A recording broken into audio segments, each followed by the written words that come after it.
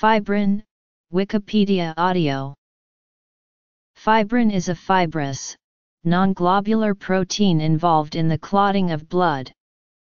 It is formed by the action of the protease thrombin on fibrinogen which causes it to polymerize. The polymerized fibrin together with platelets forms a hemostatic plug or clot over a wound site. When the lining of a blood vessel is broken, platelets are attracted forming a platelet plug. These platelets have thrombin receptors on their surfaces that bind serum thrombin molecules which in turn convert soluble fibrinogen in the serum into fibrin at the wound site. Fibrin forms long strands of tough insoluble protein that are bound to the platelets. Factor 13 completes the cross-linking of fibrins so that it hardens and contracts. The cross-linked fibrin forms a mesh atop the platelet plug that completes the clot. Excessive generation of fibrin due to activation of the coagulation cascade leads to thrombosis, the blockage of a vessel by an agglutination of red blood cells, platelets, polymerized fibrin, and other components.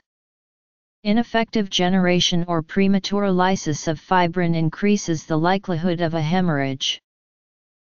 Role in disease Dysfunction or disease of the liver can lead to a decrease in the production of fibrin's inactive precursor, fibrinogen, or to the production of abnormal fibrinogen molecules with reduced activity.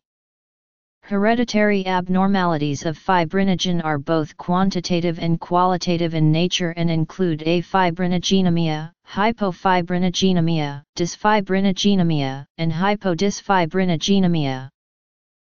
Reduced, absent, or dysfunctional fibrin is likely to render patients as hemophiliacs.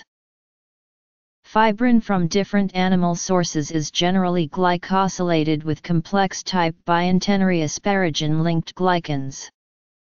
Variety is found in the degree of core fucosylation and in the type of sialic acid and galactose linkage.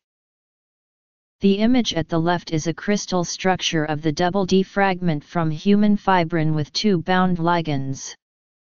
The experimental method used to obtain the image was X-ray diffraction, and it has a resolution of 2.30A.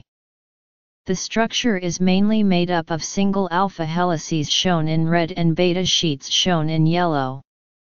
The two blue structures are the bound ligands. The chemical structures of the ligands are Ca2 plus ion, alpha-D-mannose, and D-glucosamine.